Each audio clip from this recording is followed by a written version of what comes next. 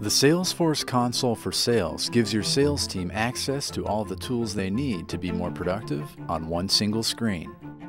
Your leads are prioritized, ensuring your reps are working the strongest leads first.